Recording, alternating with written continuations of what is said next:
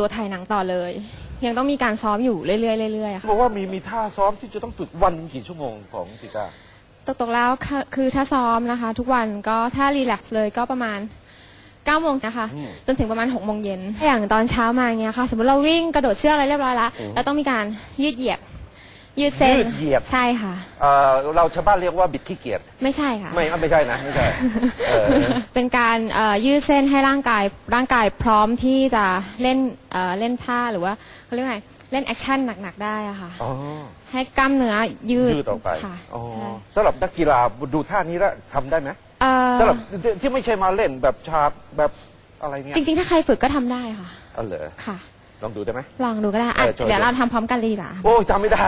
จ้าขอนั่งดูเฉยๆอะอ่านั่งดูเฉยอย่างเช่นเช้ามา ๆเอ่อเออสาวประเภทสอง ได้ไปทำงานเมื่อไม่นานมานี้ค่ะ ไปทำงานเอ่อถ่ายนิตยสารฉบับหนึ่ง ร่วมกับมีพี่ตุ้มด้วย พี่ตุ้มปริญญา อืม พี่ตุ้มเป็นคนที่น่ารักมาก ใช่ แล้วก็สวยขึ้นเยอะด้วย ใช่เพราะสมัยก่อนนี้บึกมาก ตอนนี้กลายเป็นสาวหน้าสวยไปแล้ว เขาเป็นแล้วเขาทักเขาเป็นทักสาวได้ไหมในในในแนวที่คือตรงนั้นอะเป็นฉากที่เราเซตขึ้นมา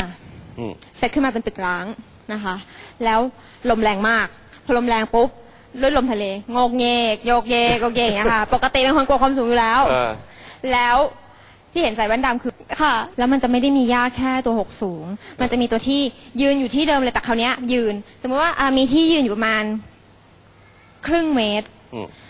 ว้ายตึกสองชั้น เข้าโรงพยาบาล เข้าโรงพยาบาลค่ะ คือนอนดูอาการนิ่ง ๆ ไปสักพักหนึ่งอืมแล้วไม่ได้สลบแต่ว่ารู้สึกว่ามันเบลอมากเลยเหมือนแบบเหมือนเหมือนหัวมันช็อตอะค่ะอะอืม แล้วน้ำตาไหลพักๆเลย เขาก็เลยบอกว่าเออไหวไหมอะไรเงี้ย ก็บอกเออก็ยังไหวแต่ขอดูอาการแป๊บนึงนะ เราก็รอว่าเออ